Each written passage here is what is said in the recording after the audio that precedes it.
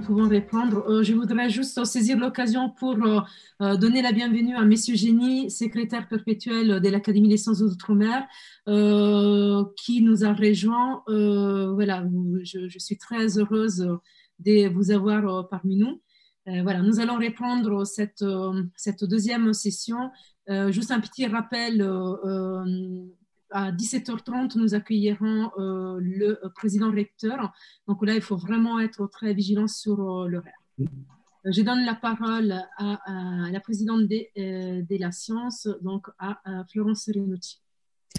Merci beaucoup, Monica. Donc, puisque notre temps est compté, je vais aller droit au but, moi aussi.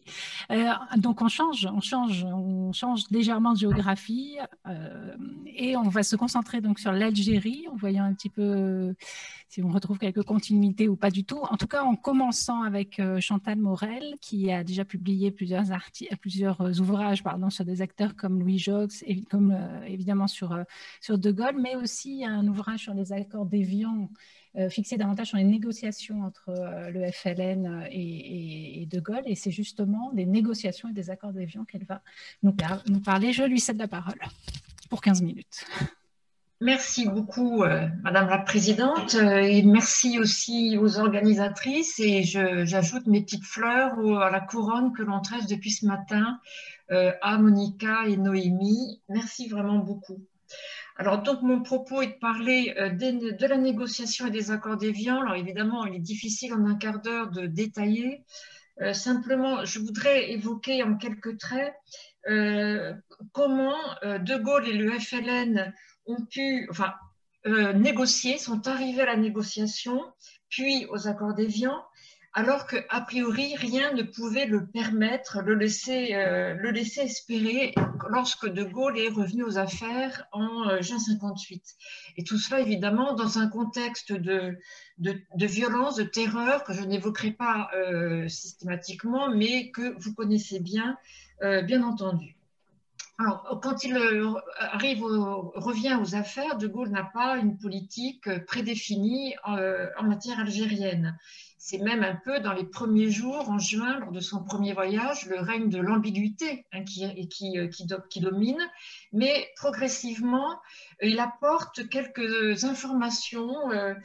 par exemple, en octobre 58, il propose la paix des braves, c'est-à-dire la, la, une trêve euh, qui euh, pourrait être le, point de départ ou qui pourrait permettre une négociation. Cela dit, ça n'est pas Cette conversation va être enregistrée. C'était euh, également le cas sous la quatrième République. Un an plus tard, en septembre 59, il propose l'autodétermination. Donc, je ne développe pas non plus. Mais enfin, donc, il y a tout de même des avancées en la matière. Et en même temps, sont mises en place des commissions d'élus, donc euh, surtout à partir de 60, mais un peu avant, des commissions d'élus qui ont un rôle, euh, élus en Algérie, et qui ont un rôle consultatif, mais qui ont, euh, disons, pour, pour dire les choses un peu rapidement, la possibilité de, de, travailler, de mettre en œuvre le développement proposé dans le plan de Constantine, donc développement économique et social. Des éléments donc qui, qui, permettent non pas la négociation, mais qui permettent de transformer un peu euh, cette, Algérie euh, problématique depuis euh, tant de temps. D'autre part, De Gaulle insiste sur le fait que si la négociation, ce serait une négociation avec toutes les parties intéressées hein, et pas uniquement le FLN. J'aurai l'occasion d'y revenir. Le FLN en face euh, est lui-même divisé. Donc il y a des hésitations du côté de Gaulle et du côté du gouvernement, des divisions aussi du côté du FLN, puisque le président du GPRA, euh, Ferhat Abbas, est favorable à une négociation, alors que les, euh, les comme Krim Belkacem ou bien encore comme Boumedienne, qui est le, chef de, de l'état-major de l'armée de libération nationale, ils sont opposés. Donc, a priori, rien ne peut permettre de penser qu'il y aura une négociation et il faut un peu le temps du, mûrissement, d'un mûrissement pour aboutir donc à, aux rencontres qui débutent à Evian en mai 1961.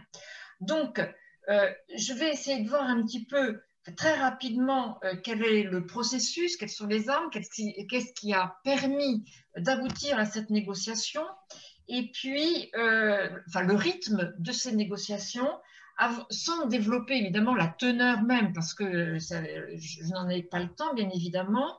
Et euh, enfin, nous verrons donc le, un peu en, guise de bilan, essayer de mesurer s'il y a un vainqueur, un vaincu, ou quel est le, résultat final de cette négociation, si au fond cette négociation est réussie. Alors donc, avec qui négocier? Euh, Je vous le disais euh, il y a un instant, pour De Gaulle, il s'agissait de négocier avec toutes les parties. Je rappelle que euh, le FLN, euh, et généralement De Gaulle parle du FLN en, citant les, en parlant des rebelles. Hein. ce sont les rebelles qu'il ne reconnaît pas le GPRA, qui est, un gouvernement illégal, illégal puisqu'il n'y a qu'un seul gouvernement, c'est le gouvernement français. Euh, mais De Gaulle a des contacts très tôt, hein, dès 58, des contacts euh, particuliers, euh, extrêmement divers. Quelqu'un citait Germaine Tillon ce matin, mais il a reçu Germaine Tillon dès 58. il écoute les gens et progressivement, il, disons qu'il y a des précédents aux rencontres d'Evian. Je, je citerai juste la rencontre officielle de Melun, hein, qui a eu lieu euh, au mois de juin 1960, avec des représentants des délégués du FLN et des, représentants du gouvernement, pour essayer de euh, prévoir, de réfléchir aux conditions qui permettraient éventuellement une rencontre au sommet, c'est le rêve de Ferhat Abbas, donc rencontre entre les deux présidents. Pour dire les choses rapidement, cette, euh, rencontre est un échec.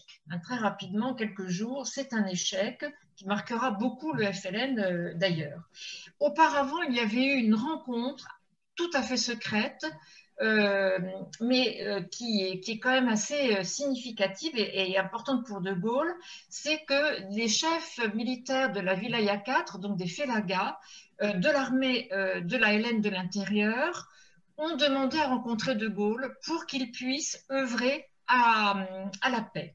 Cette rencontre a été très secrète, a eu lieu le 10 mai, en très grande confiance, je ne développe pas non plus, mais ça n'a pas abouti puisque ces euh, chefs de la Vilaya 4 ont été, euh, pour euh, les plus importants d'entre eux, assassinés pendant l'été.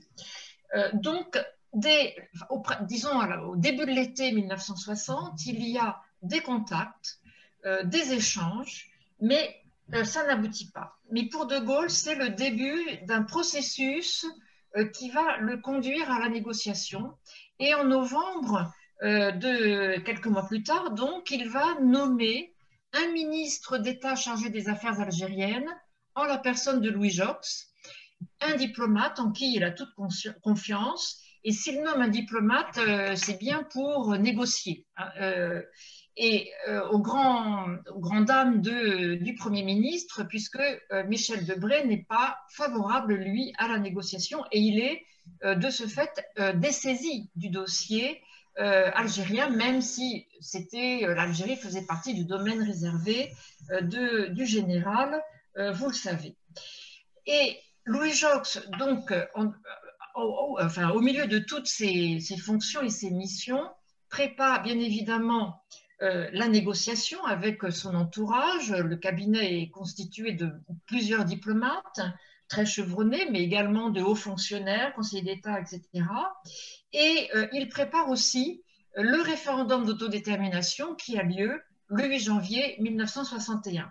Je le signale sans rentrer dans les détails, simplement pour dire que au même moment, quelques jours avant le référendum, et, dans les jours qui suivent, il y a un contact établi par un représentant du FLN, qui se trouve à, Rome, qui, est, euh, qui, est, installé à Rome, qui entre en contact avec des Suisses et par euh, différents truchements aboutissent au ministre Louis Jox euh, pour proposer des rencontres. Donc le FLN demande indirectement d'établir des contacts avec, avec De Gaulle ou en tout cas des représentants de De Gaulle.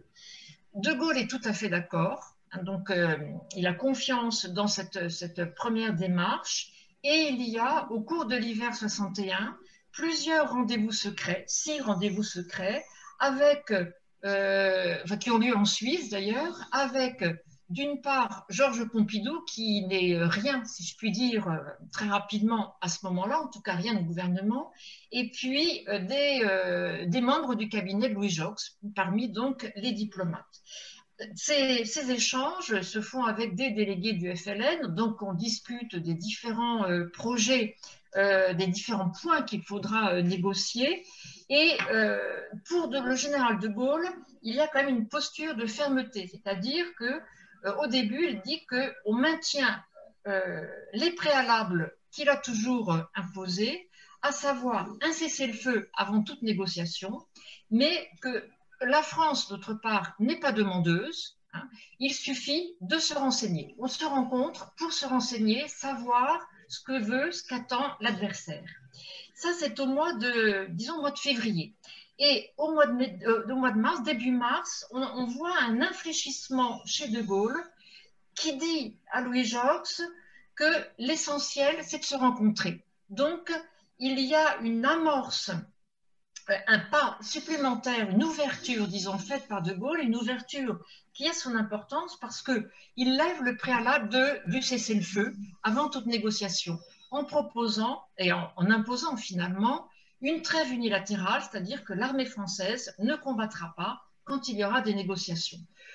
Les, euh, échanges euh, secrets, toujours, donc, se, se, concluent le 30 mars avec l'annonce officielle par le gouvernement et par le FLN de l'ouverture de négociations, donc à Evian, euh, et qui débuteront en avril.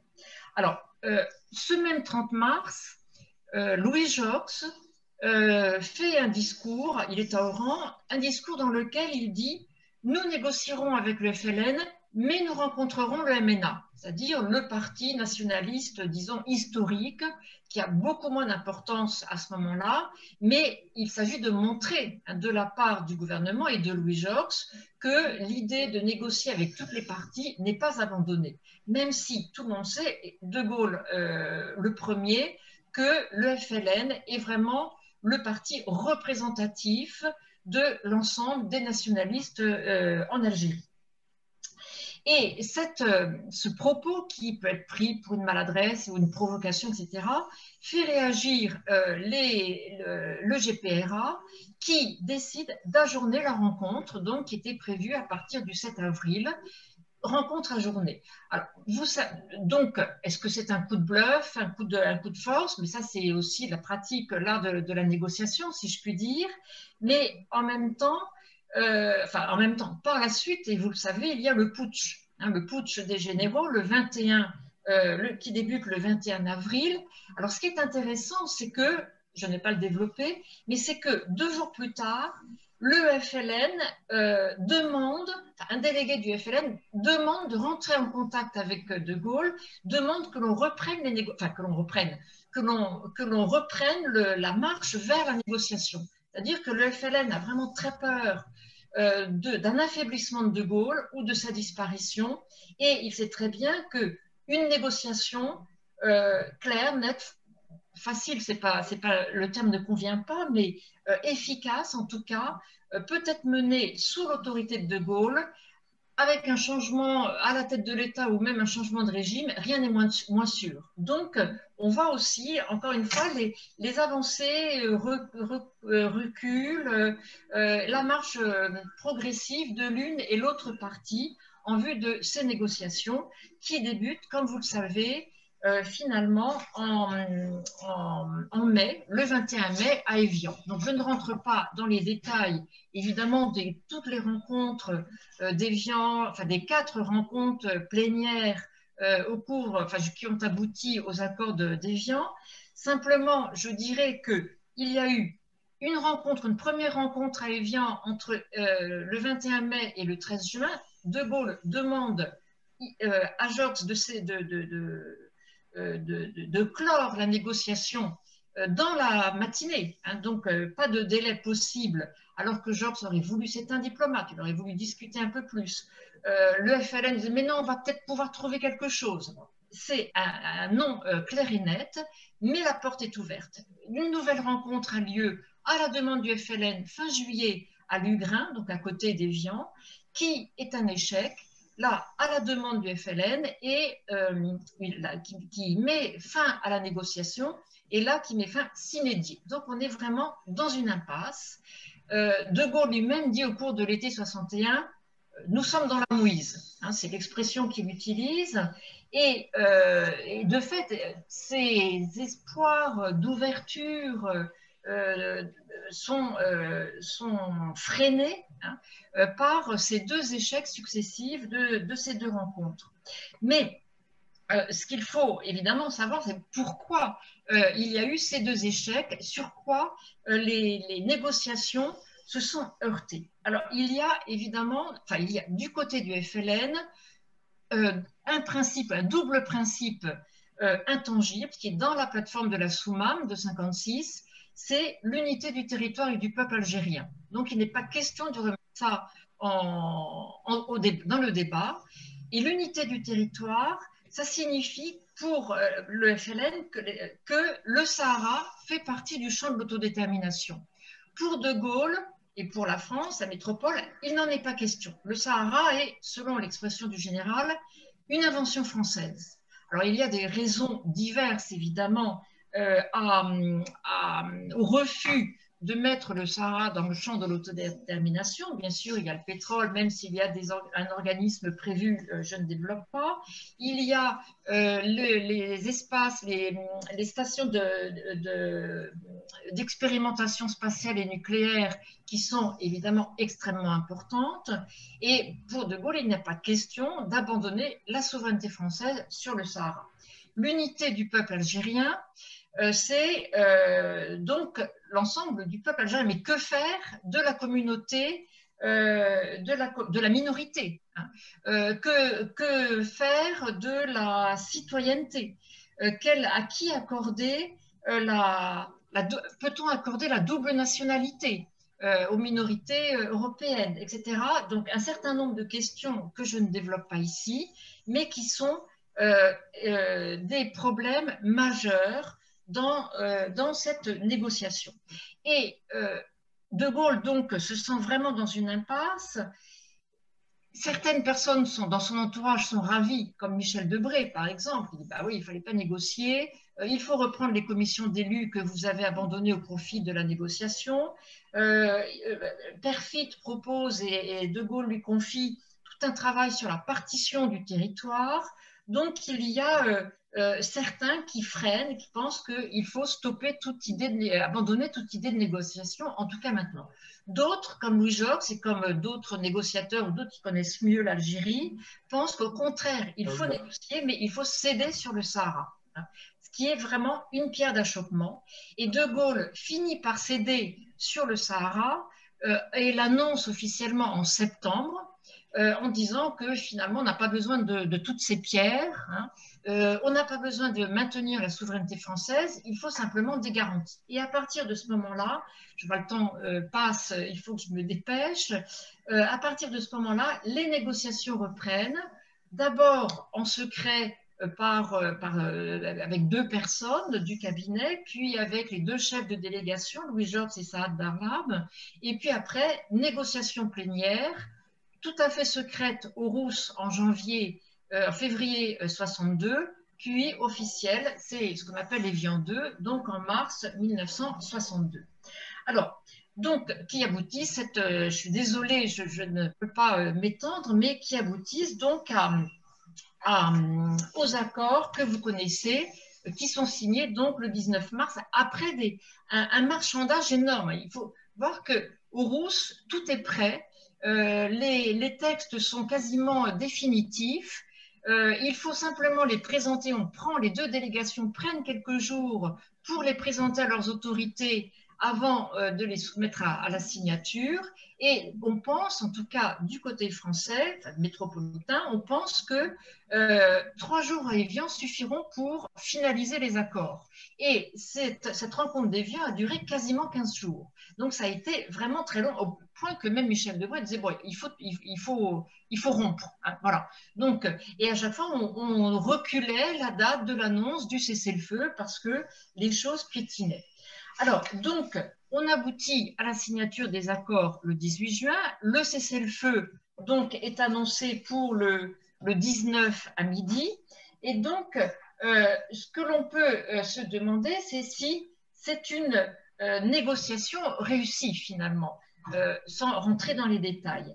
Est-ce qu'il y a Excusez-moi, on a dépassé le temps. Je, vous laisse conclure. Oui, oui, absolument, absolument. Je, je, suis vraiment désolée. Je vous en prie. Donc, euh, il semble qu'elle peut-être, on peut dire qu'elle est réussie quand on voit le référendum euh, sur les accords d'Évian qui donne plus de 90% de oui hein, euh, euh, en, France.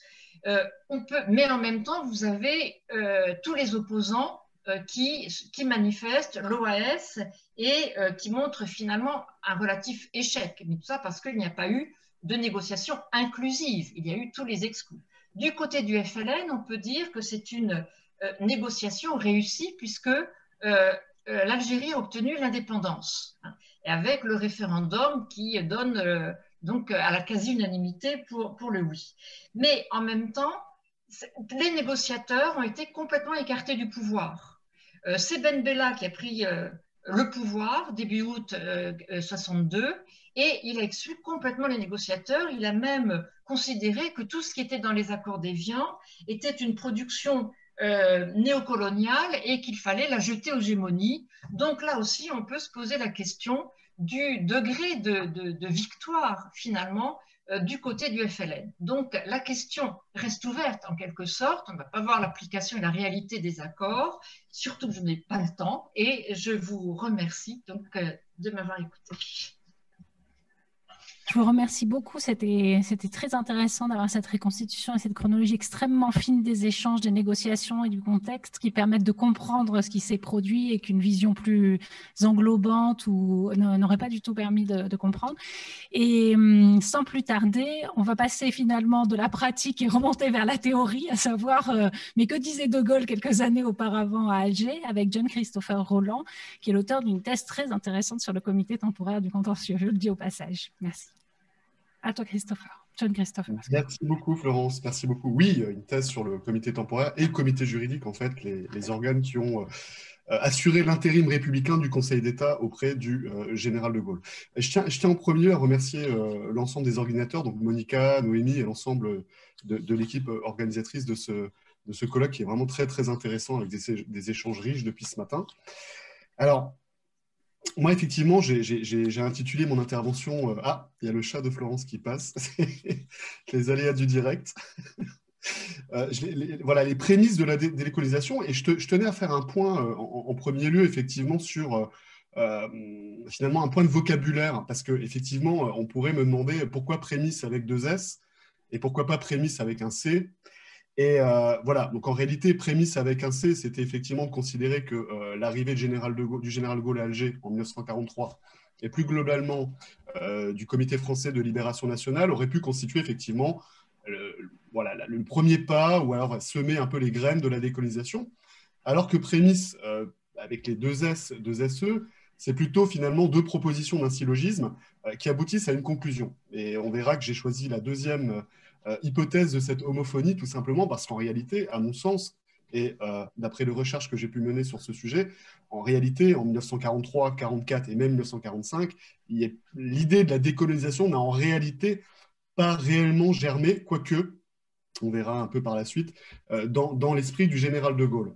Voilà, ça c'était pour les, petites précisions dialectiques, même si elles n'ont pas un, grand intérêt. Moi, je voulais vous présenter finalement et je vais essayer de partager l'écran d'ailleurs pour vous présenter la situation euh, au moment où le général de Gaulle euh, débarque à Boufarik, hein, d'ailleurs, et non pas à Alger, euh, le 30 mai 1943. Donc, on en a largement discuté ce matin déjà hein, sur effectivement le ralliement de l'Afrique équatoriale française aux forces françaises libres ou à la France combattante, et après l'échec de Dakar, finalement, le ralliement de l'Afrique occidentale française au maréchal Pétain, et il en va de même, évidemment, pour les protectorats du Maroc, de la Tunisie, et pour le département algérien qu'on ne voit pas, évidemment, sur la carte que je vous présente. Donc, sans revenir sur des choses qui ont déjà été dites, hein, sur, notamment la conférence d'Anfa et finalement l'accord qui va prendre d'ailleurs plusieurs mois entre janvier, la conférence d'Anfa, et la fin du mois de mai 1943, entre le général de Gaulle et le général Giraud, euh, pour vous présenter finalement les prémices de ZSE de la décolonisation au travers de trois textes. Euh, le premier, évidemment, c'est celui auquel se trouve confronté à la fois, à partir de la fin du mois de mars, le général Giraud, qui est euh, finalement le, représentant choisi par les Américains, et le général de Gaulle lorsqu'il arrive, c'est-à-dire finalement le manifeste du peuple algérien de, Ferrat Abbas, et évidemment le sort réservé aux indigènes, ce qui m'oblige à parler d'un second texte qui est le décret Crémieux, et la rocambolesque histoire de son abrogation, du maintien de son abrogation et finalement du rétablissement du décret Crémieux. Et on terminera par l'ordonnance du 7 euh, mars 1944, c'est-à-dire l'ordonnance qui offre effectivement, euh, qui naturalise un certain nombre de populations dites indigènes à l'époque, musulmanes. Donc, alors c'est difficile de jongler avec tous les outils en même temps, donc, effectivement, euh, on a au départ, entre la fin du mois de, décembre 1942, suite à l'assassinat du général, du, de l'amiral pardon, Darlan et l'arrivée donc du général Giraud, qui est l'homme choisi par les Américains, et le général de Gaulle, qui lui représente le Comité français de libération nationale, enfin ce qui deviendra le Comité français de libération nationale, qui, est à l'époque dénommé la France combattante, à qui d'ailleurs le, président des États-Unis, Roosevelt, dénie d'ailleurs tout élan démocratique, se méfie beaucoup du général de Gaulle, et l'homme euh, qu'il préfère, suite à l'expédient, ce qu'ils appellent l'expédient Darlan, c'est le général Giraud. Et le 14 mars 1943, euh, euh, le général Giraud va opérer ce qu'on appelle un virage démocratique, un virage démocratique dans sa position, c'est-à-dire finalement de rompre de manière nette avec l'idéologie, la révolution nationale, du maréchal Pétain. Pour autant, sur la première partie finalement de ce qui était considéré à l'époque, puisque le décret Crémieux, j'y reviendrai, a été abrogé en 1940, de la population indigène euh, de euh, l'Algérie, sur euh, la question des Israélites, il maintient l'abrogation du décret Crémieux. Alors, est-ce à dire que le général Giraud est finalement en accord avec la philosophie des lois antisémites de Vichy? C'est pas aussi clair en réalité lui, dans sa position, c'est simplement de se dire, bah, finalement, on va pas faire de distinction entre les indigènes musulmans et les indigènes israélites, tout simplement pour pas créer le trouble, pour pas finalement créer de discrimination. Alors, c'est compliqué de répondre à la question de savoir si le général Giraud est vraiment en accord total avec l'idéologie du maréchal Pétain, d'autant que parmi ses plus fidèles soutiens au moment où il accède finalement au commandement civil et militaire en Algérie à la fin du mois de décembre 1942, on retrouve des gens euh, comme René Mayer ou, euh, euh, ou d'autres personnes qui sont de confession israélite. Et donc, il, apparaît difficile de, voir chez Giraud autre chose, finalement, qu'une incompétence politique, plus finalement qu'une adhésion à l'idéologie du maréchal Pétain. Ça, c'est pour la, finalement la situation quand on arrive au mois de mars, au moment du virage démocratique.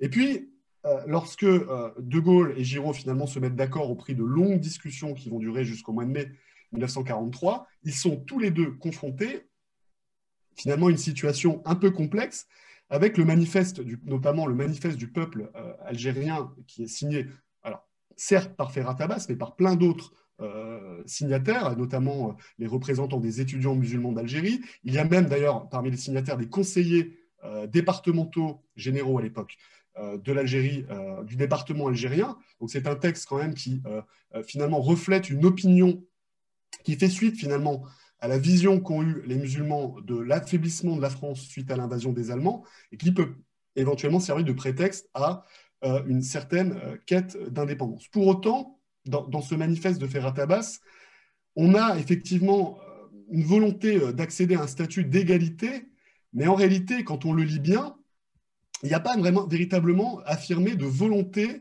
euh, de dissociation de la France. Euh, en réalité, quand on regarde euh, la conclusion du manifeste du peuple algérien, on s'aperçoit que ce qu'il souhaite finalement, c'est un statut d'égalité, une accession à la nationalité et à la citoyenneté, mais il n'est pas question de dissociation, c'est-à-dire d'une séparation ou d'une pleine indépendance pour un peuple algérien. Et ça, c'est le contexte auquel tant Giraud que De Gaulle sont confrontés lorsque finalement il fait l'union entre le commandement civil et militaire et euh, euh, la France combattante, qui donne naissance le 4 juin 1943 au Comité français de libération nationale. Et la première, le premier des textes, puisque parmi les indigènes, et ça Ferrat Abbas le rappelle bien dans le manifeste, c'est qu'effectivement, au moment où il remet au général Giraud, on est le 31 mars alors que la déclaration est datée du mois de février, le décret Crémieux a été maintenu. Donc en réalité, quand il explique dans le, dans le manifeste que finalement euh, les Israélites ont réussi à tirer leur épingle du jeu, en réalité, au moment où il remet le texte le 31 mars à Giraud, ce n'est pas vrai. les, Israélites d'Algérie, ils sont à peu près une trentaine de milliers, sont euh, redevenus euh, ou sont, rétablis dans leur statut d'indigènes. Donc ça, c'est le contexte dans lequel arrivent tant Giraud que De Gaulle. Et la première étape, donc c'est sur le texte, hormis le, manifeste du peuple algérien, c'est sur le décret Crémieux, c'est-à-dire qu'en réalité, De Gaulle, à qui Roosevelt notamment reproche finalement un caractère autocratique, doit donner des gages finalement de, euh, voilà, de, républicanisme, et plus que de républicanisme, finalement, doit montrer qu'il est républicain et démocrate. Et parmi les organes qu'on a cités tout à l'heure, euh, qui ont assuré l'intérim républicain du Conseil d'État, on a un organe qui s'appelle le comité juridique, et le comité juridique, finalement, c'est simplement l'organe qui est chargé d'assurer euh, la suppléance des fonctions traditionnelles du Conseil, d'État, notamment les fonctions euh, de conseil, c'est-à-dire les fonctions consultatives. Et en fait, c'est par un artifice euh, juridique que, sous l'impulsion du comité juridique, le décret crimieux sera rétabli. Tout simplement parce que dans la déclaration du 14 mars 1943, le général Giraud avait prévu que les textes qu'il avait maintenu ou abrogé serait suivi d'autres textes pour en prévoir les modalités d'application, et qu'à l'issue d'un délai de deux mois sans texte d'application, ils étaient réputés finalement soit validés, soit maintenus. Et en octobre 1943, donc on est un peu plus tard dans l'année, le, comité juridique va se borner à constater que les textes pour l'application du maintien du décret crémieux ne sont jamais intervenus, et que par cette forme finalement, de, il tire les conséquences finalement de l'absence de texte d'application, et c'est comme ça que le décret Crémieux euh, est à nouveau euh, d'application immédiate. Alors, ce qui est assez cocasse, je ne sais pas si on n'aura pas le temps d'en parler, mais c'est la position finalement de Marcel Pérouton, puisqu'il est ministre de l'Intérieur de Pétain en 1940, lorsque le 7 août, c'est lui qui abroge le décret Crémieux, et au moment où le décret Crémieux n'est toujours pas abrogé le 14 mars 1943, il est gouverneur général de l'Algérie, ce qui peut-être une des raisons qui explique, au-delà finalement d'une inféodation supposée euh, du général Giraud, la philosophie du, maréchal Pétain, peut expliquer effectivement euh, le maintien dans la durée finalement de l'abrogation du décret crémieux. Donc on a une première partie des indigènes, de la population considérée comme telle, qui est à nouveau accède à la citoyenneté française. Maintenant, concernant la population musulmane, ça va être un tout petit peu plus compliqué puisque sont-ce les prémices d'une euh, éventuelle décolonisation? En réalité, le général de Gaulle va pas vraiment aller dans ce sens-là, puisque le 7 euh, mars 1944 est publié par le CFLN une ordonnance relative au statut français des musulmans d'Algérie, qui donne la citoyenneté, la nationalité même française à toute une série euh, euh, d'indigènes, notamment ceux qui ont combattu pour la France, pour les bénéficiaires de la Légion d'honneur, et d'ailleurs plus, plus, particulièrement pour ceux qui sont compagnons de la libération, parce qu'on sait que l'ordre des compagnons euh, est beaucoup plus important aux yeux du général que la Légion d'honneur. Et le texte, cette ordonnance se termine euh, en, expliquant que euh, finalement les autres Français musulmans sont appelés également à recevoir la nationalité française, et c'est l'Assemblée nationale constituante, une fois la libération obtenue, qui s'en chargera. Donc en réalité, quand on parle de prémisse de décolonisation, là encore, on voit que le général de Gaulle et le CFLN derrière lui, ne prend pas cette direction. Et d'ailleurs, pour, reprendre Jean-René Tournou, lorsqu'il explique qu'effectivement le, général de Gaulle est confronté à ces, à velléités d'indépendance interne, notamment au travers du, peuple, euh, du manifeste du peuple algérien, en réalité, euh, toutes les premières décisions qu'il prend, euh, comme le rétablissement du décret Crémieux et le statut et l'accès à la nationalité d'une grande partie de la population indigène musulmane semble aller dans le sens contraire. Et d'ailleurs, Jean-René Tournou explique que au moment dès 1943, en fait, le général de Gaulle, se tournant vers André Philippe, qui était l'un de ses commissaires, donc un de ses ministres, c'était l'autre appellation utilisée par le CFLN, quand on lui pose la question en 1943, alors qu'est-ce que vous pensez de l'autonomie interne Il répond, bah, en réalité, tout cela finira un jour par l'indépendance.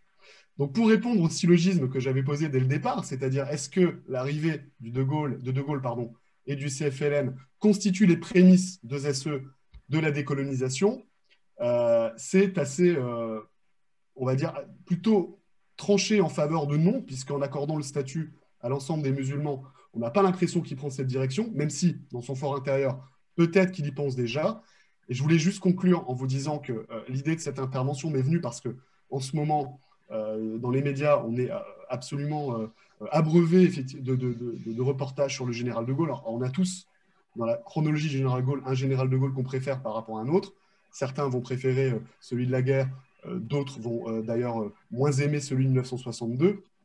Mais un des reportages s'était conclu en disant que si le général de Gaulle n'avait pas quitté euh, ses fonctions en janvier 1946, probablement que la, décolonisation aurait été plus vite. En réalité, quand on regarde les premières décisions prises entre 43 et 45 en Algérie, je n'irai pas jusqu'au massacre de Sétif, ça a déjà été évoqué, on n'a pas l'impression effectivement que à cette période précise, ce soit exactement la direction prise par le général de Gaulle. Je vous remercie infiniment pour votre attention. Merci beaucoup, John Christopher, pour cette, euh, euh, cette, intervention très intéressante. Je pense qu'on reviendra euh, sur ces questions aussi enfin, qui, sont propres à l'Algérie, hein, des populations effectivement israélites ou enfin juives. Enfin, déjà rien sur les termes, on va avoir quelques problèmes, enfin, quelques discussions sans doute, mais et les musulmans, etc. On est dans des logiques un petit peu différentes de celles qu'on a vues ce matin. bien, donc on en rediscutera dans les questions et je laisse la parole immédiatement à Loïc Laroche, qui est spécialiste des questions de relations entre euh, les questions journalistiques, on va dire, et l'histoire en particulier, enfin le monde, hein, qui a déjà travaillé sur les rapports entre le monde et euh, les États-Unis. Je vous laisse euh, immédiatement la parole. Merci.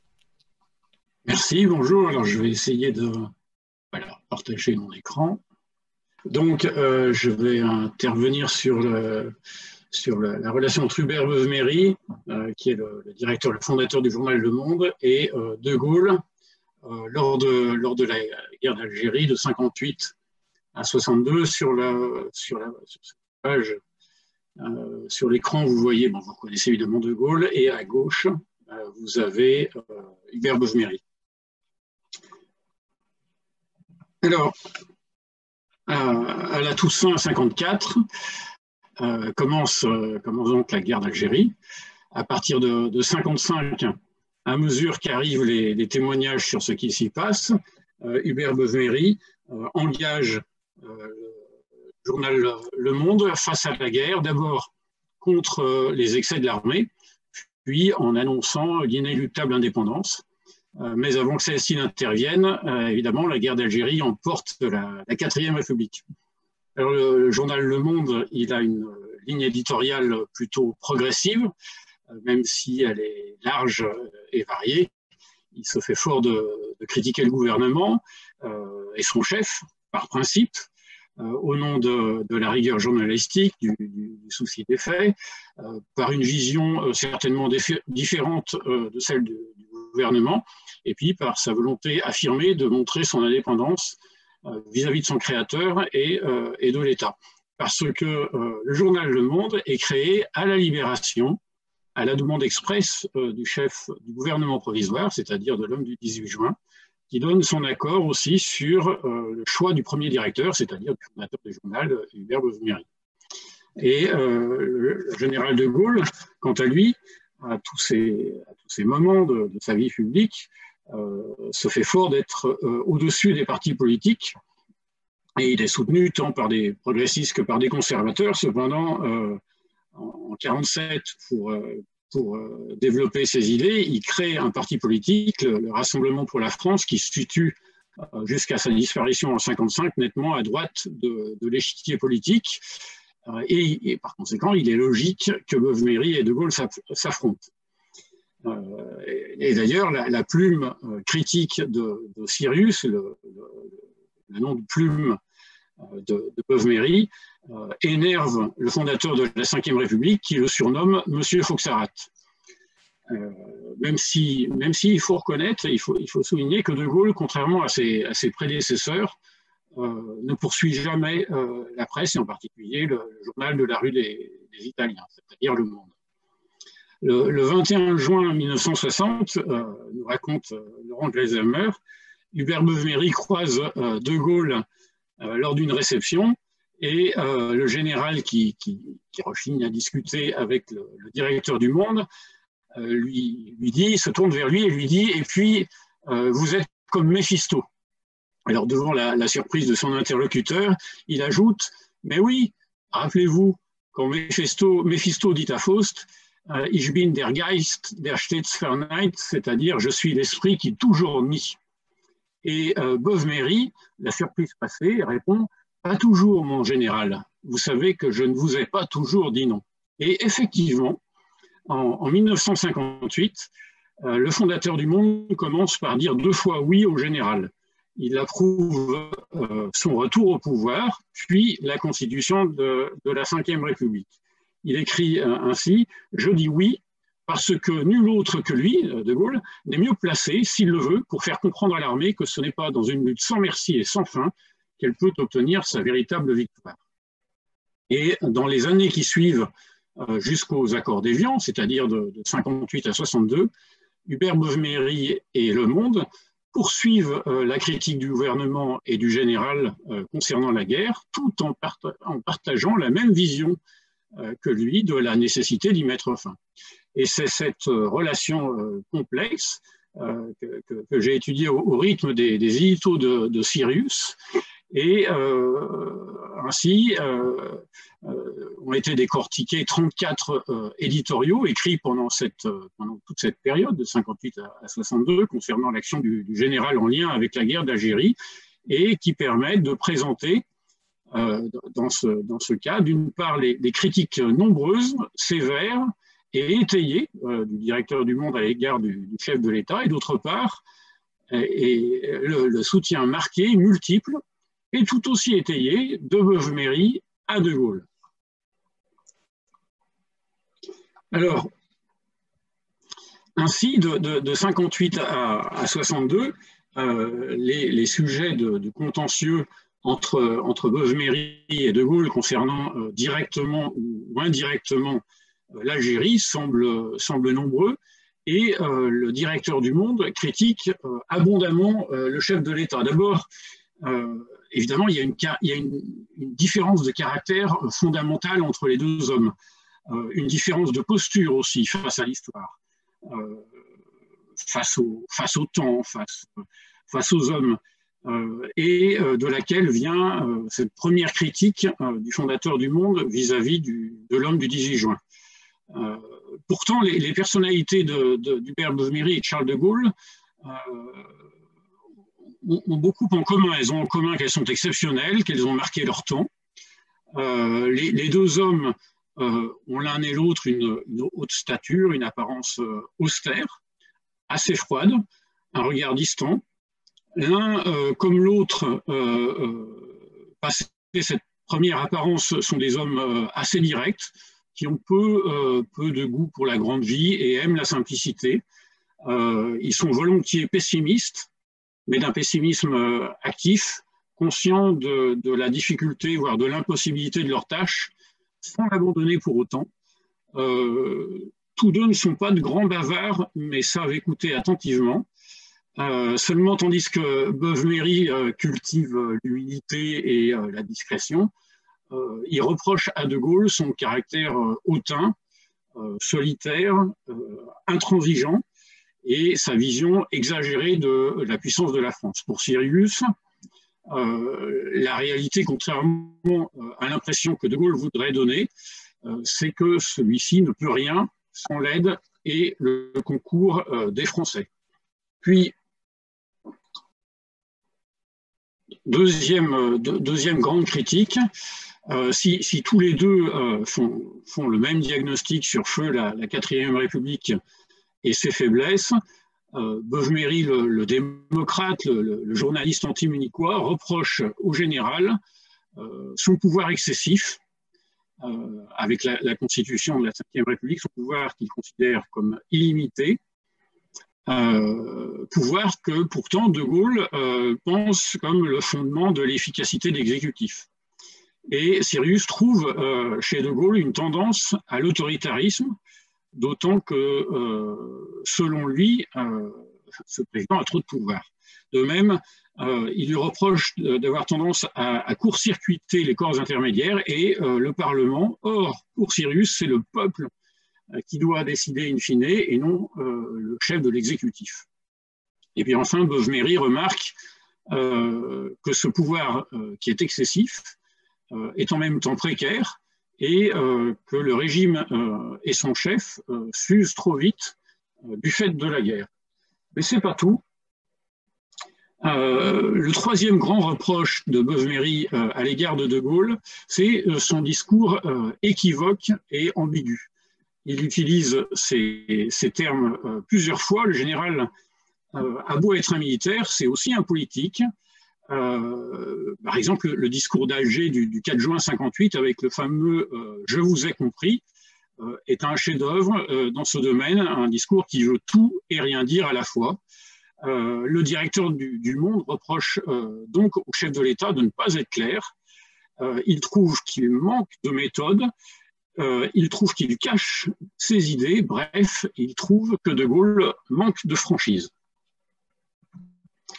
Et puis, Dernier euh, grand reproche, et évidemment, euh, aujourd'hui, avec le recul de, l'histoire, euh, on ne se représente pas cela, mais, le directeur du Monde reproche au président de laisser passer le temps et de ne rien faire, ou presque, pour arrêter cette guerre qui n'a que trop duré. Et, il, écrit à plusieurs reprises que De Gaulle tergiverse. Alors, avec le recul de l'histoire, et parce qu'on connaît la conclusion, on peut considérer que, de Gaulle ne chôme pas lorsqu'il revient au pouvoir en, 1958, 58, puis lorsqu'il donne, à la France une nouvelle constitution, lorsqu'il parler qui aboutissent à la dépendance de l'Algérie en 62. Euh, effectivement, le, second semestre 58 et le premier semestre 59 sont, consacrés à la nouvelle constitution qui est, mise en place. Et, pendant, ces, quelques mois, Beuve-Méry s'abstient de, critiquer De Gaulle, en tout cas concernant l'Algérie. Par contre, euh, lors des longs mois qui suivent, euh, jusqu'à donc euh, à partir du premier semestre 59 jusqu'à l'engagement de, pour parler sérieux avec le, avec le FLN, disons en, avril-mai 61, en tout cas quand ça devient officiel, Sirius critique l'inaction du général ou au moins l'absence de, démarche et de progrès décisifs euh, vers la paix, alors que la guerre semble s'éterniser. pour lui, il y a trop de temps perdu. Sirius écrit dans un éditorial qui est intitulé S'il est encore temps, le, 26 août 59, ainsi une guerre continue, développant chaque jour ses conséquences absurdes, et M. Lacoste, euh, donc l'ancien gouverneur d'Algérie, peut se flatter publiquement que rien n'a changé euh, depuis son départ. Alors, par conséquent, pendant, ces, les quatre années qui passent du retour du général de Gaulle au, pouvoir en 58 aux accords d'Évian en 62, euh, Hubert Beuve-Méry porte une, critique soutenue et ample contre, contre le général de Gaulle. Toutefois, euh, celle-ci ne, porte pas sur toute la période, mais porte surtout donc sur les mois, je vous disais, qui s'écoulent de l'été 59 au premier semestre 61, car euh, Sirius, en particulier en dehors de cette période, mais pas seulement, apporte aussi son soutien au chef de l'État et approuve son action à de nombreuses reprises. Et parfois, euh, ce soutien et cette, approbation viennent euh, même contredire certaines de ses critiques de façon concomitante ou même ou parfois qui ont été effectuées précédemment. Euh, d'abord, euh, premier, premier regard euh, approbateur de, de Cyrus, euh, comme, disait Françoise euh, Giraud, qui, le connaît bien, ce que son regard accorde, sa bouche euh, le retire. Alors, sans doute, Cyrus ne laisse rien passer, sa critique est, franche et implacable, mais il sait agréer les faits qui lui semblent exacts et apporter son soutien lorsqu'il lui semble mérité. Et l'homme politique qui en a le plus bénéficié, c'est Pierre Mendès France. Alors, sans doute, il est resté que sept mois au pouvoir, euh, donc il n'a pas eu le temps de faire beaucoup de choses euh, critiquables. Et en même temps, en sept mois, il a mis un terme à la guerre d'Indochine, il a mis euh, la Tunisie et le Maroc sur le, chemin de l'indépendance. Mais De Gaulle, Charles de Gaulle est l'autre grand bénéficiaire du, du, soutien d'Hubert malgré bien des critiques, il est vrai. Il en est le grand bénéficiaire notamment pendant la guerre d'Algérie. Et le premier argument que Beuve-Méry apporte en faveur du général de Gaulle est qu'il est un homme d'État. Et pour Sirius, de Gaulle, c'est une autorité morale, un homme sincère et intègre en qui on peut avoir confiance. Euh, il a un passé euh, rassurant, c'est le libérateur, le, sauveur de la France, pour le salut duquel, pour le salut de laquelle, pardon, il a pris tous les risques. Euh, c'est un, un, démocrate, ce n'est pas un fasciste. Euh, et d'ailleurs, il défend euh, et respecte euh, la liberté, la liberté en général, la, liberté de la presse aussi en particulier, évidemment, pour un, journaliste, c'est très important. il s'engage lui-même en faveur de la paix, c'est ce qui est l'objectif du monde dans, la guerre d'Algérie. Il a la confiance de la majorité des Français ainsi que de nombreux musulmans, donc le peuple le soutient. évidemment, la tentative d'assassinat en 61 renforce et, et, le, note, renforce sa popularité. Il défend euh, assurément les intérêts de la France ainsi que ceux des Français en Algérie. Euh, au début, donc en 58, euh, note qu'en plus il semble le, mieux placé face à l'armée. Alors après, ça se démentira. Euh, et donc au final, pour Bovmery, De Gaulle est un chef légitime qui a droit à un soutien loyal de la nation. Et en plus de sa légitimité, alors évidemment, Bovmery se place dans, un contexte de la mort de la quatrième République qui a, manqué de, de, grands leaders et de véritables chefs. Mais pour Bovmery, en plus de la, de légitimité de De Gaulle, euh, il a la capacité, il lui reconnaît la capacité euh, à être un chef, un, un vrai leader. Euh, il, il, note par exemple, lors de la tentative de putsch de, 61, que la barre est tenue fermement. Euh, il apprécie que des décisions soient prises par un chef euh, responsable qui a la volonté d'aboutir. Euh, le général sait prendre des risques. alors, le temps passant, Bovmery note que De Gaulle finit par dissiper les équivoques, ce qui, ce, qui, évidemment revient pour lui à reconnaître que certains de ses reproches étaient infondés, euh, ou que De Gaulle s'est fait attendre pour, euh, pour mieux avancer ensuite. Il note et il remarque que globalement la politique euh, menée par, par, De Gaulle et son, et son gouvernement est bonne et positive pour la France dans ces années 58-62. il poursuit un, un, un, véritable effort de, de réforme et de redressement général. Et d'ailleurs, l'économie, euh, la situation de l'économie s'améliore. La situation de la France, la situation internationale de la France euh, s'améliore aussi. Et la décolonisation avance. Euh, et Bovmery approuve évidemment le libre choix donné aux Algériens d'autodétermination, puis d'indépendance. Euh, et, euh, il, explique dans, les colonnes du journal que De Gaulle euh, agit conformément aux souhaits de paix des Français et qui n'hésite pas à faire de nombreuses concessions dans, ce but. Il, va même jusqu'à dire que le, vrai problème pour la France et pour De Gaulle vient des adversaires du, général. Ainsi, les, tergiversations et les, attentes sont largement le fait du, FLN. Et De Gaulle, euh, fait, de son mieux. Euh, condamne aussi évidemment le, jeu trouble des, généraux euh, face, à De Gaulle et le jeu des, le jeu des émotiers d'Alger. Euh, et il reconnaît même que la presse a une part de responsabilité euh, dans, certaines des, polémiques euh, qui, apparaissent.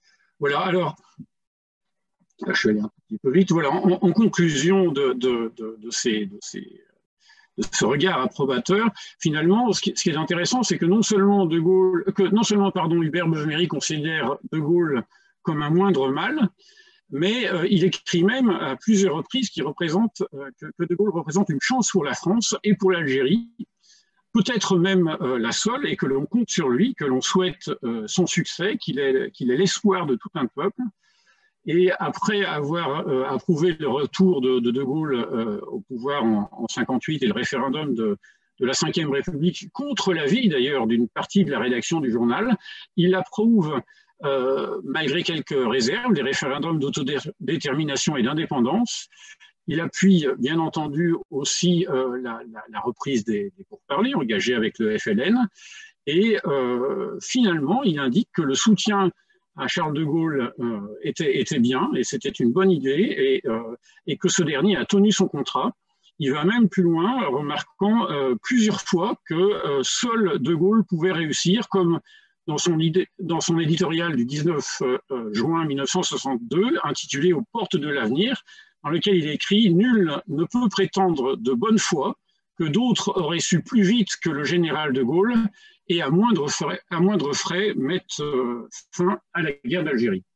Alors voilà, en, conclusion, euh, le, double regard que porte Hubert Bovnery sur le, général de Gaulle et sa, et sa politique algérienne de 58 à 62 et parfois euh, positif, parfois euh, négatif, souvent les deux.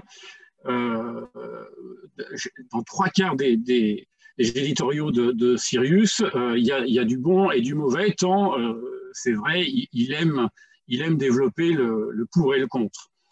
Évidemment, le, regard, ce regard varie avec le, temps, il se, nourrit de la différence entre le journaliste critique rigoureux dont le métier consiste à ne rien laisser passer et, comme on dit, à mettre le doigt euh, sur la plaie, au risque d'être et euh, de paraître trop sévère, et puis l'homme d'État pragmatique, ancré dans la réalité, dans l'action et ses vicissitudes.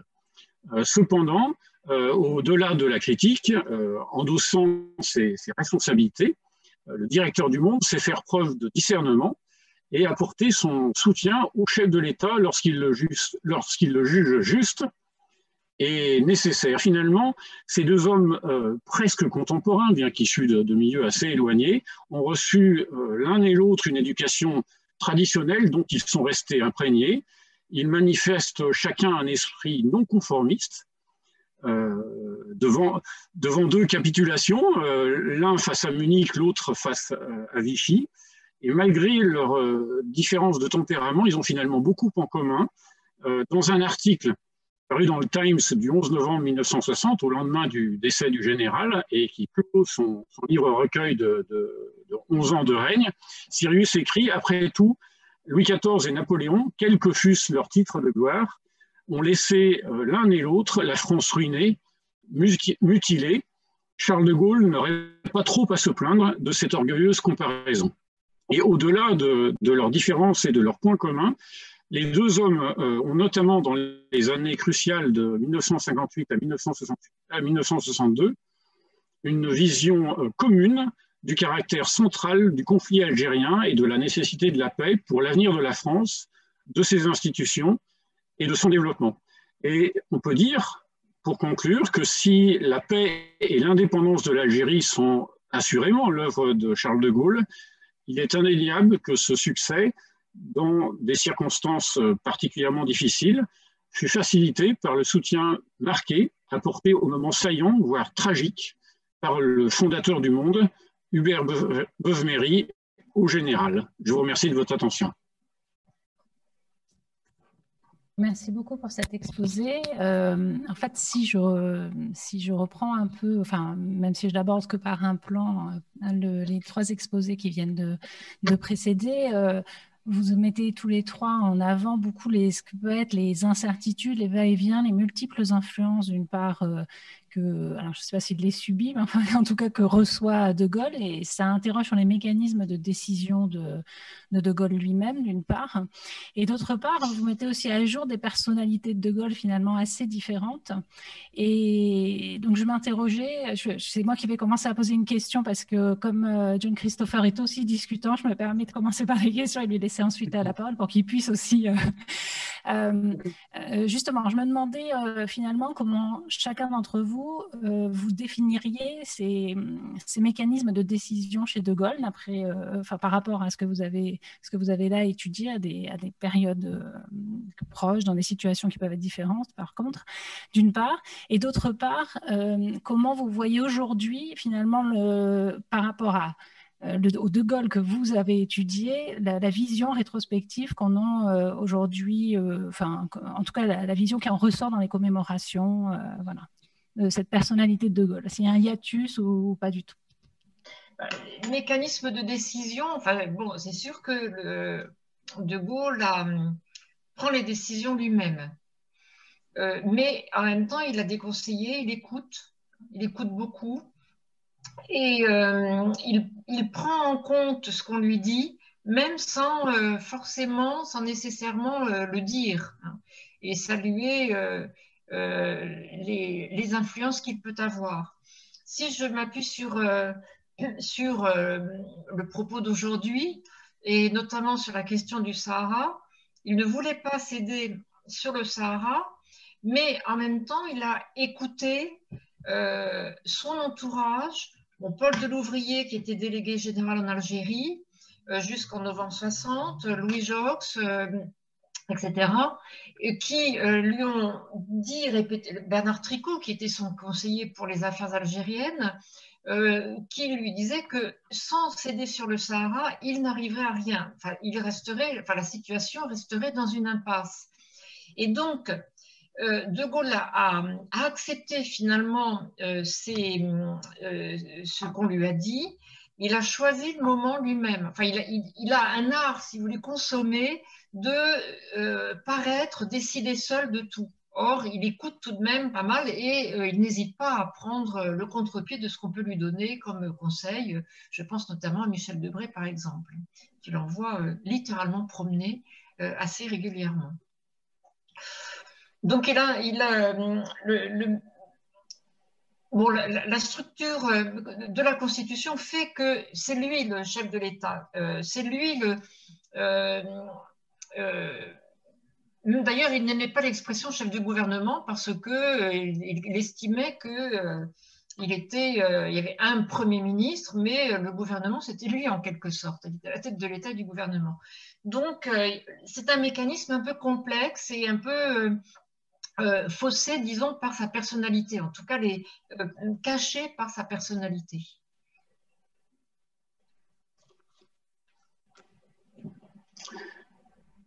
Euh, oui, euh, effectivement, De Gaulle est, un personnage qui, euh, qui écoute beaucoup. quand il, donne des, il reçoit ses, visiteurs, il leur, dit un mot, puis il les laisse parler pendant une demi-heure, sans interrompre, sans couper. Donc c'est vraiment, je, crois, une, une caractéristique euh, et puis, et, puis euh, alors sans doute aujourd'hui notre image c'est que c'est quelqu'un qui décide, mais, euh, mais il attend, il prend son temps pour décider, il attend et parfois ses contemporains sont impatients qu'ils prennent, qu'ils prennent enfin une décision parce qu'il attend, il attend jusqu'à jusqu'au moment où bah, il faut qu'il décide. Et là, il décide vraiment. Et, je pense que c'est un petit peu la, la, réaction qu'a qu Mary, mais voilà, il prend, il prend du temps, il prend le temps d'entendre de, tous les avis et puis même, euh, il prend aussi le temps lui-même de, réfléchir et de, mûrir sa décision. Ce n'est pas du tout un, homme qui décide à, toute vitesse.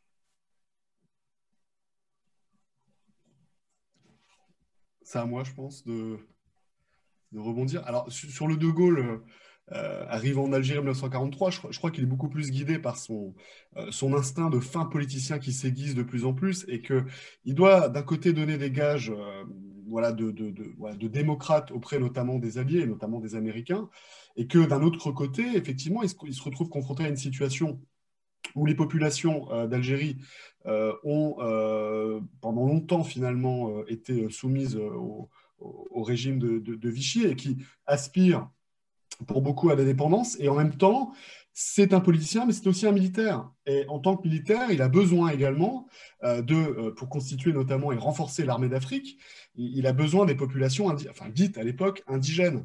Donc c'est vraiment, je pense, en 1943-44 que De Gaulle euh, réussit la meilleure synthèse, en tout cas à mon sens, de, de, son de son esprit de fin politicien, ce qui est au, contraire de Giraud, et en même temps de fin militaire. On a beaucoup glosé euh, sur les piètres qualités militaires de De Gaulle, notamment au regard de la Première Guerre mondiale. En réalité, sur le plan de la stratégie et de la tactique, il est quand même assez clairvoyant. Et il le démontre avec beaucoup de, euh, avec beaucoup de force euh, durant cette période du CFLN et du gouvernement provisoire de la République française. Et, et d'ailleurs, à ce titre, par effet miroir, on pourrait presque reprocher au général Di Giraud finalement la même le même aveuglement politique euh, qu'on a pu reprocher en, 1877 à, MacMahon, c'est-à-dire que Giraud est un militaire militaire, il n'y a, pas de, conception euh, euh, politique, d'ailleurs il, se fait complètement manger par, De Gaulle sur ce plan-là, tout comme MacMahon se fait complètement balader par Gambetta, et, je crois vraiment qu'en termes décisionnels, le De Gaulle de l'époque, à mon avis, hein, mais je, peux me tromper, hein, d'ailleurs n'hésitez pas éventuellement à me, à me contredire sur ce sujet, n'est pas réellement, euh, même si il a peut-être en germe euh, l'idée que euh, l'Algérie française, ou même les colonies françaises de manière générale, ça, touche à sa fin, je ne suis pas persuadé qu'au moment où il débarque à Alger, ce soit réellement dans, dans, ses projets, en réalité, le, le processus de décolonisation. Il est vraiment dans une réalité factuelle ce qu'on appelle aujourd'hui, en termes vraiment impropres, la réelle politique. Il a besoin de militaires, il a besoin d'hommes, et il a besoin de gages, il a besoin d'une reconnaissance internationale. Et je crois que, euh, aider de ses conseillers, alors d'ailleurs tout à l'heure, Madame Morel, vous avez parlé de Louis Jox, euh, qui, euh, à partir de 43 et aidé à Fort, est un de ses plus proches conseillers, puisque c'est son général du gouvernement. Et il adopte à la fois une posture politique, très très clairvoyante, euh, tout en gardant euh, une, une, clairvoyance militaire qui est tout, tout aussi remarquable. Mais je ne pense pas euh, que la décolonisation à ce moment-là soit réellement dans ses préoccupations premières. Merci beaucoup John Christopher. Je vais te laisser la parole en tant que discutant maintenant. Oui, alors je vois. Donc, juste pour que je comprenne bien, parce que ce matin j'ai essayé de comprendre le film, il y a, des, les, questions qui sont posées par les, euh, tu as des questions qui euh, sont posées par euh, les spectateurs qui sont en bas dans le question-réponse que tu peux poser aux intervenants ou te poser à toi-même? peut-être avant de répondre aux, questions notamment des spectateurs anonymes, peut-être juste rebondir quand même sur ce que j'ai entendu de, la part des, co-discutants qui étaient pour moi très intéressant parce que c'est une période effectivement j'ai pas notamment la période des accords des que je n'ai pas étudié et également la, relation avec le directeur du Monde, un journal résistant euh, s'il en met.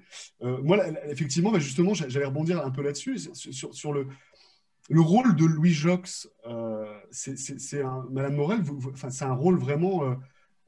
J'ai l'impression qu'il a peu accédé à la postérité, alors que moi, je, le sais, je n'ai pas eu le temps de l'exprimer dans, mon intervention, mais en 43-44, c'est un rôle essentiel, c'est un rouage essentiel de la politique qui va mener à la libération de la France.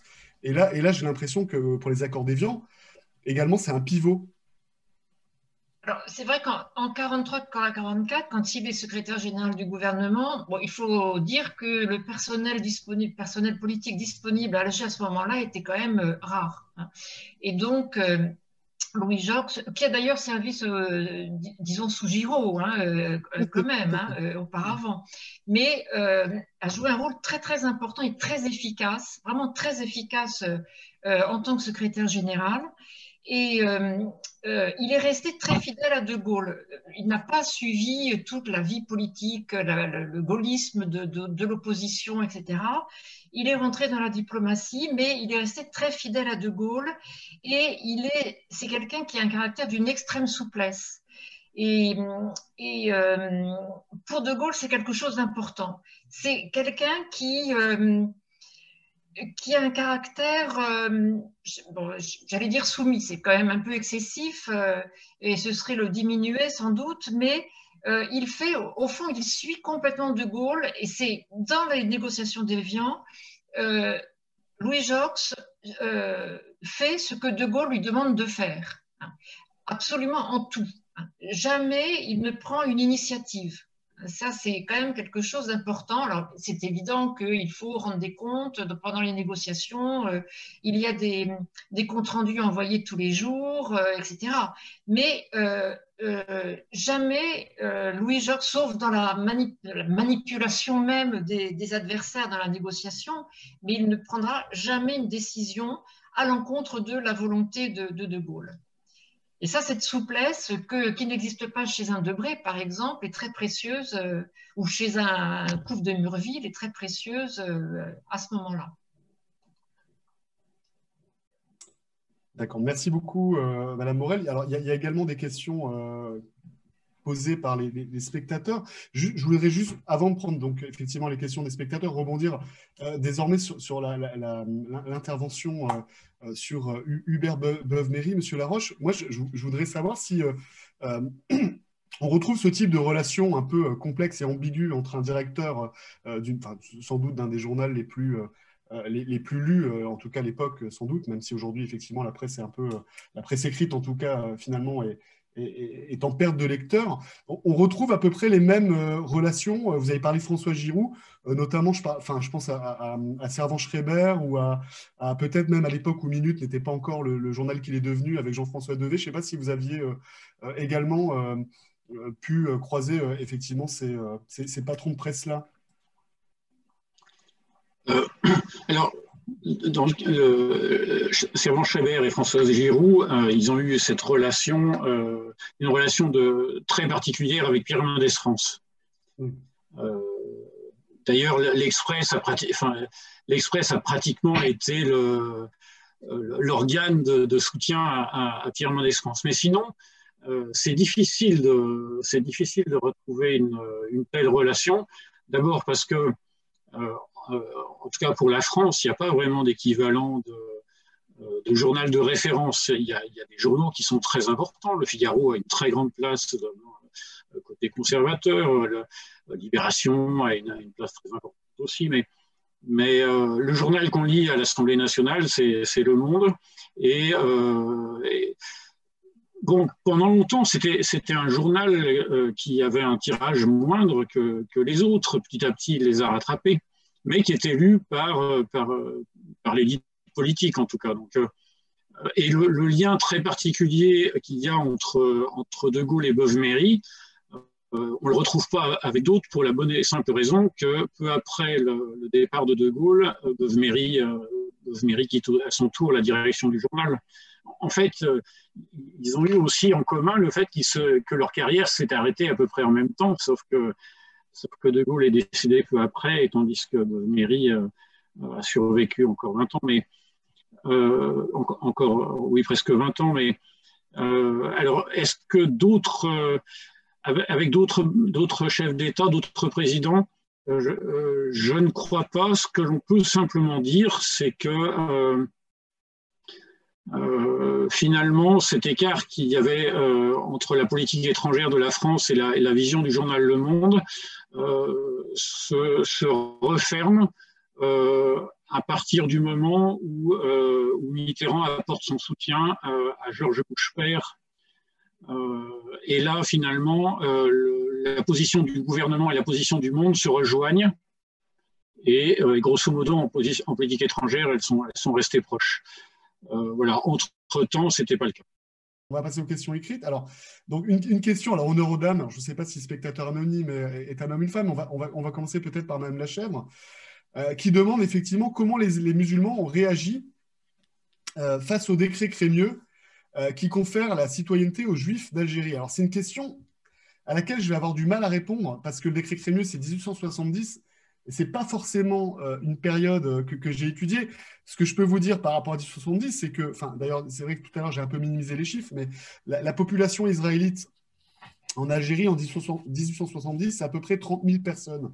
Alors, je ne sais pas si parmi euh, les, intervenants, il y a des gens qui sont plus au fait du 19e siècle. Florence, merci d'avoir levé la main. c'est mes sujets en plus.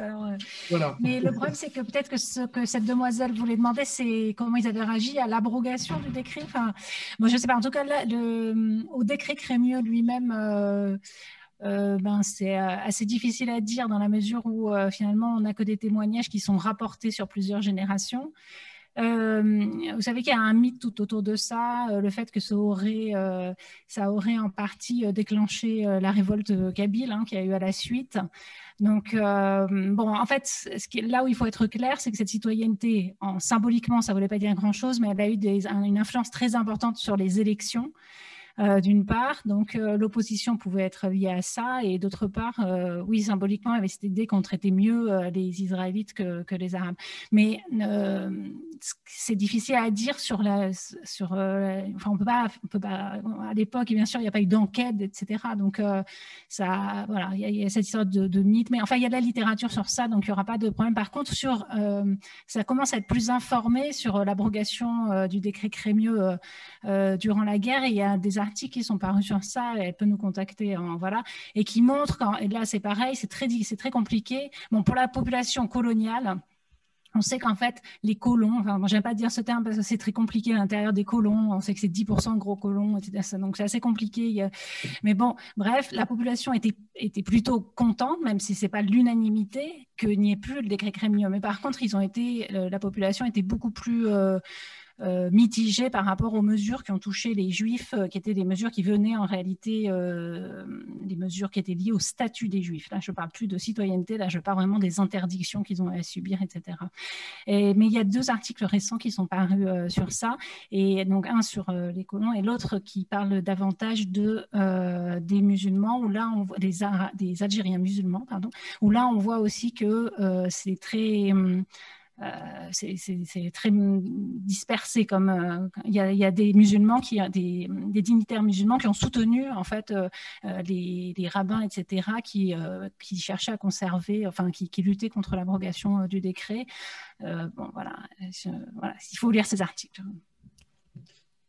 J'ajoute au passage qu'il y, a également depuis quelques, mois des archives ouvertes hein, des, États-Unis qui, entre 43 et 45, procédaient à des sondages des sondages dans la population euh, d'Algérie et on, peut accéder à tout un tas de questions posées avec euh, un, panel intéressant. effectivement, la question, des Israélites présents en Algérie est une, des questions qui a été posée et, vous pourrez aller regarder c'est HAL, hein, je pense que tout le monde connaît le site, les archives ouvertes, c'est assez intéressant. maintenant, quant à l'abrogation et puis le non-rétablissement par Giraud, puis le rétablissement du décret Crémieux par le CFLM,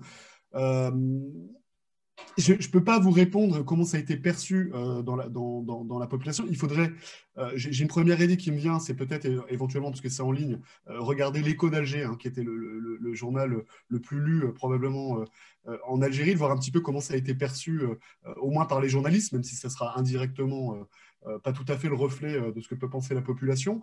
Euh, il est certain que pour faire Abbas, ça, parce que vous pouvez le lire dans, ses interventions, c'est extrêmement mal perçu, puisque c'est effectivement pourquoi les, indigènes de confession juive et non pas les indigènes je reprends que les termes de l'époque, attention, hein, c'est des termes un peu complexes.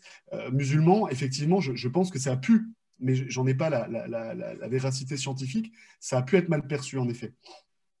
En tout cas, mal, mal interprété. Si je peux me permettre, il nous reste euh, que quelques minutes parce qu'après, on a l'intervention qui a été reportée euh, du recteur à 17h30. Voilà, je te dis pour le choix des questions, je te laisse. Il y, a, deux questions, écrites. Effectivement, euh, j'ai la première, c'est Monsieur le professeur Roland. Donc, je rappelle quand même au, passage que je, je viens seulement d'être qualifié maître de conférence et évidemment, je, je, ne suis pas professeur, mais, mais peu importe. que pensez-vous de la décolonisation? Beaucoup de Français d'origine maghrébine reprochent à la France cette période. Alors ça, ça c'est une question très compliquée. Euh, j'ai deux types de réponses qui me viennent. La première, c'est que voilà, même si je suis euh, euh, un vrai parigot par, mes arrière-grands-parents et plutôt un anglais du côté de ma mère, j'ai une grand-mère qui, vient d'Algérie, qui est pied noir, donc j'ai un héritage effectivement plutôt, enfin en tout cas voilà, c'est une question qui m'intéresse beaucoup. Comment, moi, la, réponse que je formule toujours à cette question, et je pense que ce matin, on a eu des échanges très intéressants là-dessus, notamment vis-à-vis de la francophonie. Je ne sais plus quel écrivain, je, crois que c'était Kateb Yassine, qui disait euh, pour l'Algérie que le français était un butin de guerre, une prise de guerre. Je crois, je crois, que la réalité est complexe. Il y a eu une colonisation, par exemple, arabe hein, aussi, hein, pour, pour, les berbères, hein, certains pourront vous en parler. J'ai presque envie de vous dire, euh, revoyons-nous dans 200 ou 300 ans, et on pourra peut-être tirer un bilan un peu plus, euh, un peu plus lucide euh, sur cette période, même si évidemment, euh, il est nullement question ici de, euh, cautionner les aspects dominateurs. J'ai approuvé effectivement la, phrase de Florence Renucci sur qu'est-ce qu'un colon? C'est une vaste question. Est-ce que c'est mon arrière-grand-mère qui était postière à l'âge de 14 ans ou est-ce que c'est les industries qui effectivement exploitaient là-bas, exploitaient sans doute d'ailleurs en métropole? C'est des questions très très complexes à laquelle, enfin, il y, a, un, rapport de proximité historique qui, à mon sens, hein, mais je, peux me tromper, et rend, la réponse à cette question très complexe. Et je ne sais pas si quelqu'un voulait rebondir là-dessus avant de prendre la dernière question écrite. Peut-être prendre la dernière question, parce qu'il reste cinq minutes. Alors, c'est une question, voilà, c'est une question qui s'adresse directement à Loïc Laroche. Euh, bonjour. Malgré la relation tendue entre Hubert Beuve-Mévry et le général de Gaulle, ce dernier avait-il une influence sur la ligne éditoriale du journal Le Monde, sachant que cette période était marquée par un certain contrôle politique de l'information? C'est bizarre, c'est une question que j'aurais aimé vous poser aussi. Alors, De Gaulle et son, gouvernement, enfin son ministre de l'Information, avaient un contrôle absolu euh, sur l'information télévisuelle.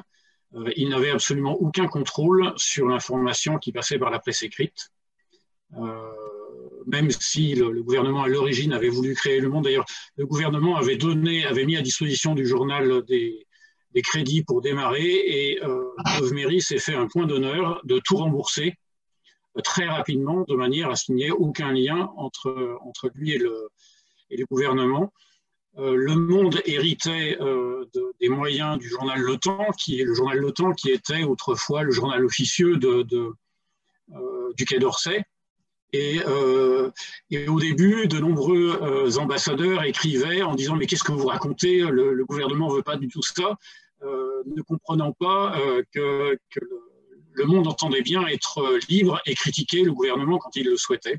il n'y avait absolument aucun lien entre le gouvernement et la ligne éditoriale du monde, et c'est la raison pour laquelle de Gaulle, de Gaulle s'énervait régulièrement en lisant, en lisant Le Monde, mais il le lisait. Et euh, voilà, j'espère que j'ai répondu à la question. Il n'y avait pas de lien. Je redonne tout de suite la parole à la présidente de séance, Madame Renucci. Il reste une question écrite, mais a priori, on a euh, dépassé le temps imparti. Oui, merci beaucoup, John Christopher. Et nous allons laisser la parole euh, au président recteur de l'Université catholique de Lille, qui nous a rejoint.